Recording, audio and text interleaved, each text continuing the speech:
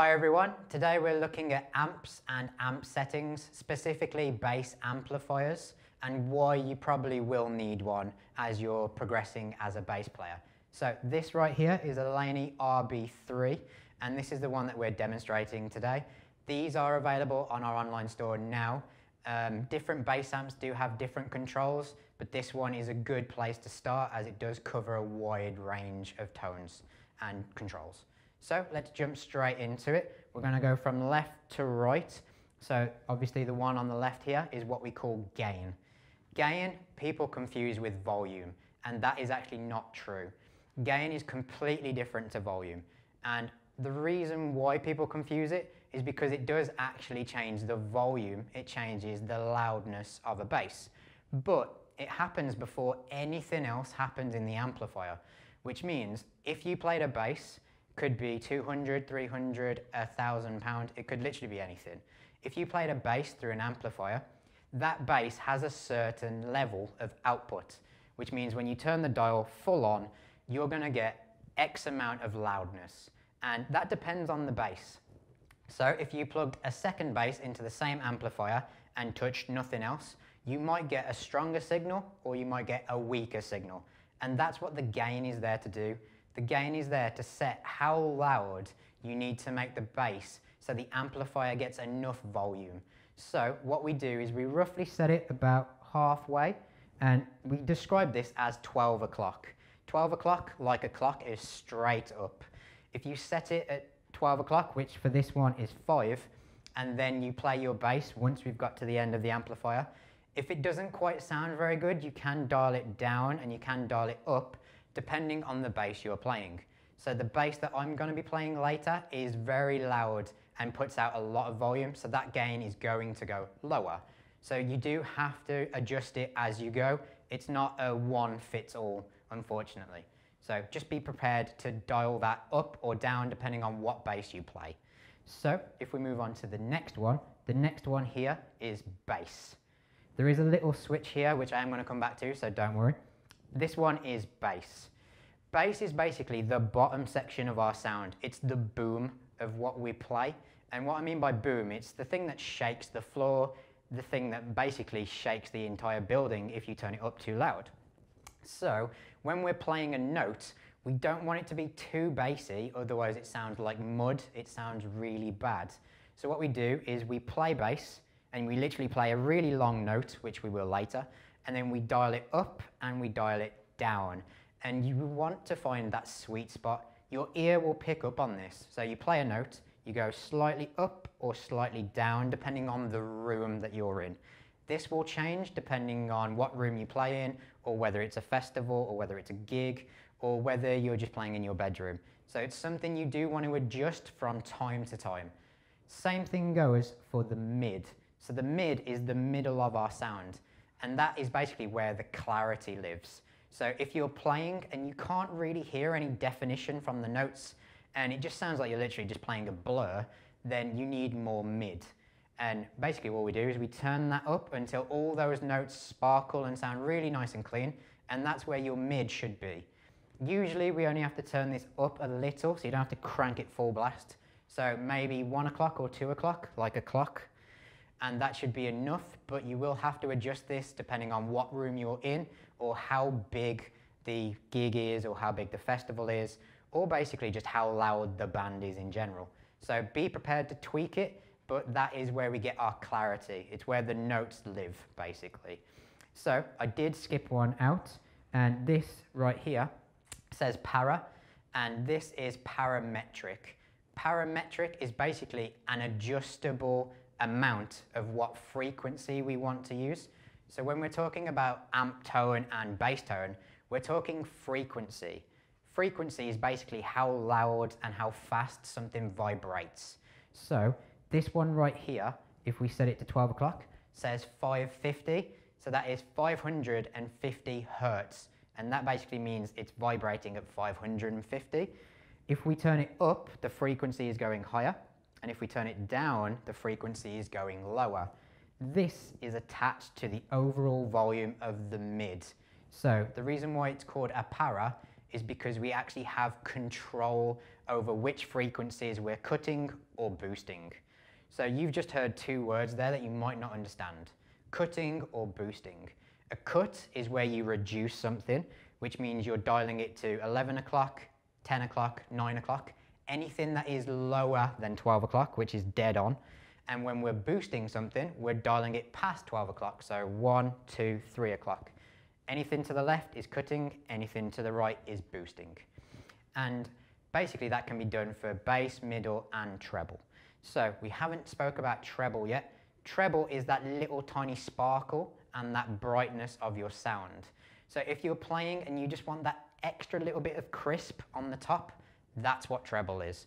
So you don't have to turn a lot on to get the full benefit of this. If you turn it too loud or too high in terms of the clock reading, if you turn it up way too high, what's going to happen is it's going to be way too sparkly, way too bright, and that's what we refer to when we go, that is ear piercing. When you hear a sound and it cuts straight through your hearing, that is treble. So it's nice to have a little, but way, way bad to have too much. So try and dial it in and get that sweet spot. Once again, it does depend on the room and it does depend on the amplifier itself because there are many different models, many different brands. So you want to play a note and tweak this as we go, and I will show you how to do this later in this lesson. So just to recap, bass is your low frequency and that's the boom. That's going to be the bottom end of your sound. So if you want a really thick sound, bass is what you're going to boost. If it's way too much, you're going to cut a little bit down just because then it will roll off nicely. The para is the frequency that we can control with the middle and some amplifiers don't have this. Some amplifiers may just have the middle. So if it's middle, then we've got a fixed frequency that we're cutting or boosting. But if you have a para or a parametric for its full title, this means you can control the frequency we're changing. So just be wary that if you don't have that, some amplifiers don't, so do not worry. The middle is basically the clarity where we get all of our notes, where they ring out nicely. It helps us cut through the drummer, helps us cut through the band. And what I mean by cut through, it means we're able to hear ourselves. If you can't cut through the rest of the musicians, no one will hear you play bass. And obviously that is a justice in itself. We do not want that. That's an injustice to everyone that's learning bass. So middle will help you cut through everything nice and neatly, gives you a lot more clarity. Treble is that little sparkly bit on top and the brightness. So a little goes a long way and it just makes those notes pop out a little bit. A little bit too much and it will pierce your ears and everyone will say it's a bad sound. So just be careful with that. And then cutting, as I've already mentioned, but just to repeat, Cutting is when you cut something below 12, and boosting is when you're increasing it and you're going above 12. Hopefully all that makes sense. So we've now got two other things we need to talk about. We've got the volume, and we've got this little switch here. So we'll ignore the switch, because some amplifiers don't have that. Let's talk about the volume. The volume, as people get confused, isn't the same as the gain. The gain is basically adjusting the level for each bass you play, the volume is how much signal and how loud it's going to be when it reaches the speaker, which is this right here. So you could have loads of gain and no volume and it's going to sound really bad. You could have no gain and loads of volume and it's still going to sound bad. What you need to do is get a decent level from the gain and then adjust the volume so you can hear yourself in the room, in your bedroom, over the band. And once again, that does need to change. It's nice to start on kind of about three, so three on the amplifier here, which is roughly about 10 o'clock, because that will be a decent amount of volume, but you will have to adjust it if you can't hear yourself.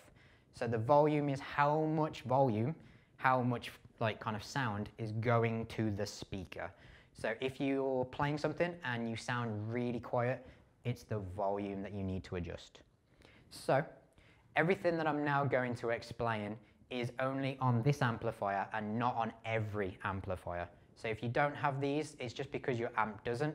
Other ones, as the one that you've seen in the background of some of these lessons already, have a lot more controls. So it just depends on what you've got at home. So this one has a little switch here which says comp, and that is a compressor. A compressor basically takes all of the quiet sounds that you play. So if you accidentally hit a string with the tip of your finger and it's super quiet, a compressor basically boosts that volume so it sounds a little bit more even. And then if you accidentally whack the bass like Hulk and you basically play really loud all of a sudden, it squishes it. So a compressor takes the quiet and boosts it up, takes the loud and cuts it down, and basically squishes your sound so you've got a more consistent sound as you're playing whatever it is that you're playing. So it doesn't actually change any of the bass, middle, or treble.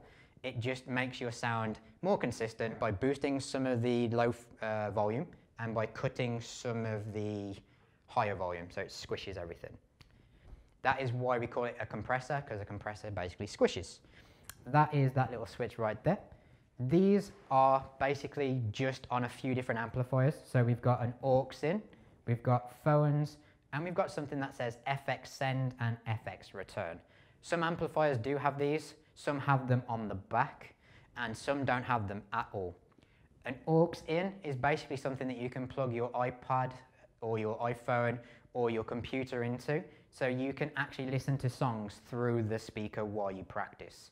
Some amplifiers do have it, once again, some don't, so don't worry. That's just what that is there for. The phones is obviously for headphones, so if your parents or if your partner or if someone down the street basically starts moaning saying you're playing bass too loud, you can plug headphones in and no one will hate you, which is a good thing to do. Um, and it allows you to practice with the amp that you would go and use normally, but it just obviously only you can hear it, which is a really good thing to have. Slightly more expensive amplifiers do have this, whereas some of the lower budget ones don't. So once again, if you do have it, great. If you don't, do not worry. The FX send and FX return is basically if you're using effects and you're using a pedal board. Basically what this is, is you plug additional stuff in through that, and then that way you've got two signals that are splitting, but because this is a little bit more advanced and we're not talking about uh, pedal boards or we're not talking about effects pedals at this point in this lesson. We're going to completely ignore them, but just know that they are there. So if you've got a pedal board and you want to plug it in, you're going to plug it into the send and the return. So we will come back to those at a later date to describe all of those. So now that we know what all of those dials and all those controls do, we can now move on to actually playing and working out what we do to get a good solid bass tone. So bear with me one minute, I'll grab my bass and we'll carry on. So I've grabbed my bass, we're ready to rock and roll. Just to kind of highlight one thing as well, before we literally start plugging everything in, you'll see that there is something called a DI down here. This is if you're out gigging or if you're trying to send a signal to a different person or a different set of equipment. So I've plugged that in just so my bass will come through very nicely on camera, but you guys won't need to worry about that unless you're gigging and obviously kind of out there making a living from music. So the DI is basically what we call a direct input, and that's all we need to know for now. So this is a jack lead. We're going to plug this into our bass first, and the reason why we do that is because if you don't, you will actually damage the speaker, depending on how loud the volume is on your amp. So always into the bass first, clip it in. Then what we do, we take the other end of this lead, and we need to plug it into the amp and we also need to turn it on as well, which I will do in just one minute. So we have something called normal and we have something called high. Usually most amps will just have input, but what is normal and what is high and which one do I need to plug into? So the question and the answer to that is your bass. And the way that we find that out is, does your bass have a battery? So if you flip your bass round, if you have a battery component, then you need to plug into high because your bass is what we call active. Active is where you have a battery that powers the circuitry in the bass, which means your volume is a lot louder and it means it's a lot bigger than the other type of bass, which is called passive. A passive bass is one that doesn't have a battery. So, really simple check. Do you have a battery component in your bass? Yes or no? If you do, you're going into high. If you don't, you're going into normal. So just double check because obviously all basses are different and it just depends on what bass you have at that minute. So this one is active. So I'm going to plug into high. Just plug that straight in there. Then what we need to do is we need to turn it on. To turn it on, there is usually a switch at the front or at the back. This one is at the back. And all we do, plug it into obviously the mains, flick that up. There we go. We have a red light. We're all good to go. We now have this on. So I'll just give you a quick demonstration so you can hear it. There you go. We have sound. Good. So what we now need to do is, because we're actually playing a bass finally, if we put our volume roughly on three, and we're going to turn the gain all the way off, play a long note, that is literally just the volume. So it's coming through, it's okay, but it's not very strong. As soon as we turn the gain up,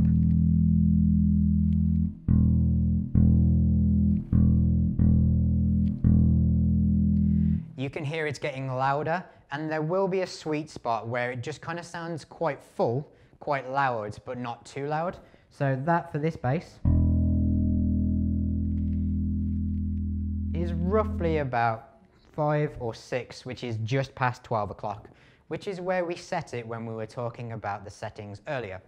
So that's going to be my setting for the gain, and if I need to go louder or higher, or if I need to go quieter and lower, we're going to turn the volume.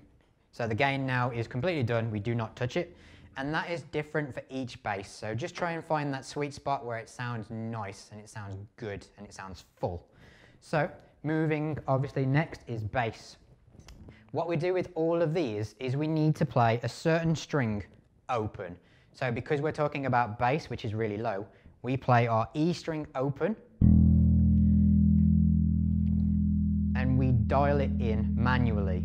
So what I'm doing here, that is completely rolled off, that's cut. So if I play it, it hasn't got a lot of bottom end to it. So I let the note ring out, I turn it up until it sounds really good but doesn't sound too bassy. And what I mean by that is this. That sounds pretty cool, but if I go too far,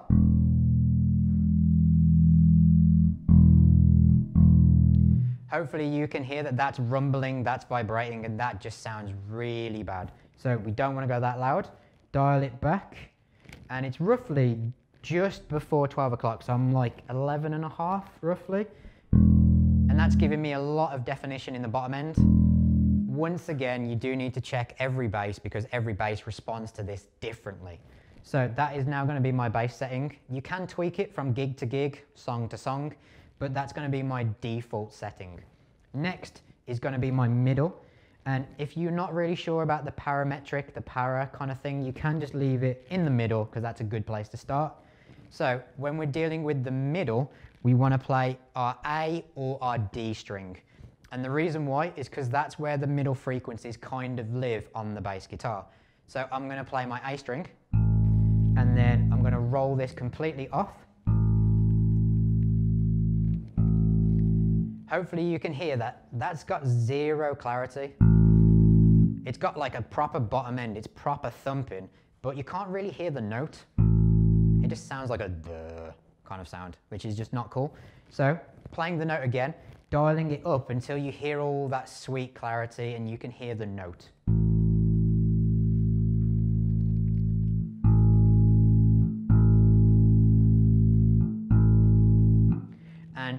That is just past 12 o'clock, so it's kind of like 1 o'clock.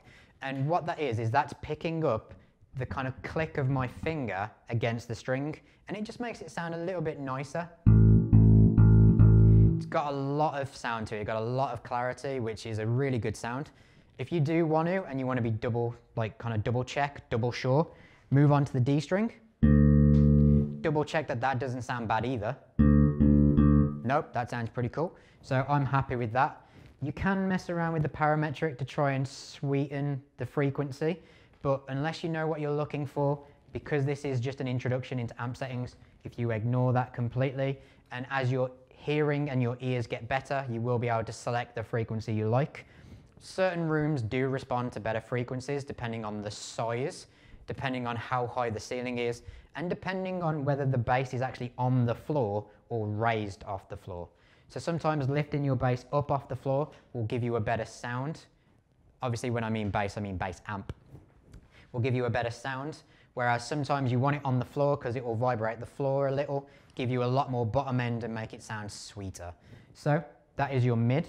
For your treble, we want to play the G string because the treble is the top end of the bass and the G string is kind of starting to cut into the top of that sound because obviously that sounds quite tingy. And if I turn that up a little bit too much, that's going to cut through my hearing and that's going to be horrible. So always cut. Don't boost by default. Always cut, which means go to the left. And then just gradually twist it to the right until you like the sound of it.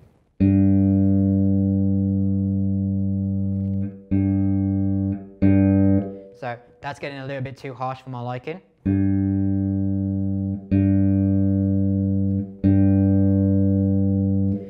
That's kind of like the sweet spot with this amp and this bass. So I've still got a nice little bit of clarity to it, but it's not super ear piercing. And it does depend on how you play the bass. If you're playing with your fingers, you will notice that the bottom end kind of needs to be cut a little bit more. If you're playing with a plectrum, you'll notice the treble needs to be cut a little bit more. And it's because of the material that is hitting the strings. So bear in mind, it depends on the style, it depends on the amp, and it also depends on the bass. So just kind of always double check these things because this is not gospel. You do not have to follow this. This is just trying to show you that there are differences depending on what you're looking for. So that's pretty loud and I'm liking that. So the volume can stay where it is. Just to prove a point though, if I roll that off, nothing, nothing at all. As soon as I roll it back up, and then you just tweak that until you like the overall loudness of it. So obviously when I turned the gain completely off at the very start, because the volume was still up, we were getting a little bit of a signal. When I turned the volume off completely, we got nothing. And that's why gain and volume are completely different. Just to kind of give you another way of looking at it, if you have a phone call with someone, gain is basically telling that person to shout down the phone to you it's something they're controlling from their end, which is basically the gain. We're controlling it before the speaker gets any sound, any volume. So that's like telling someone to shout down the phone at you because you can't hear them. The volume is basically like you turning the volume up on your phone because you haven't got it loud enough. The person on the other end is still speaking the same volume, still speaking the same loudness, but you're changing it on your end, which means obviously you're getting a bigger sound. That is what volume is doing. It's a really simple way to look at it. So gain is basically trying to work out how loud the bass needs to shout, which you have to tweak from bass to bass. Volume is just how much is going to the speaker. Some people will want compression on. Compression is completely off at the minute. So compression is one of those weird things where it's very subtle. So if I play a note, press compression. It makes the sound a little bit rounder. It makes it sound a little bit thicker, but it also makes it sound a little bit more quiet. So it's really subtle. So if you can't hear that difference yet, do not worry because we will look at compression later because it is an effect. So when we start looking at effects pedals and so forth, we will look at this in more depth. But a compression, as I've already said, just squishes that sound makes the quieter louder and the louder quieter. So it gives you a more rounded sound. So that is a really easy way to set your amp up if you've never set an amp up before. Just one more thing as well. The speaker, which is down here, can come in different sizes, but just get whatever size you've got, or if you do want to buy one of these, this speaker is big enough for home practice and also gigging. But speaker size can be your own personal preference. They do handle the sound different, so we're not going to talk about that today because that's a little bit more advanced. The one thing we are going to talk about though, this speaker is super low. It's not anywhere near my ears, it's not anywhere near my face, which is great, but I'm not actually hearing the full sound of this. Bass amps are omnidirectional, which means we play a note and it goes everywhere. The sound literally bounces across the entire room, which is good because we can hear it anywhere we stand. But the sound gets weaker the further away from the speaker you are. So this amp right here, which is really good, which is the Laney RB3, as I've already said, it is available on our online store. It has a kickback design. A kickback design means I can push it back very slowly. And what that means now is that it's still actually safe. It's not going to fall over. And it's because the back is sloped and angled. But you can probably already see on camera that speaker is now facing my face and my ears a lot more, which means that volume and that sound is going to be neater, cleaner, easier to hear, and probably sounds a lot louder as well. So I'm now getting the full sound of the amplifier, which is a big thing to do when you first start playing. So if you're looking for a kickback design, it is a really useful feature. Obviously, this was just an introduction into amp settings, so if you do need to rewatch any of that to rethink any of that information, by all means, just rewatch it as many times as you need to, and just have a little bit of a play, have a little bit of a tweak with it, and you'll find something that works for you with your amp, your bass, and your playing. Thank you for watching, and we'll move on to the next lesson.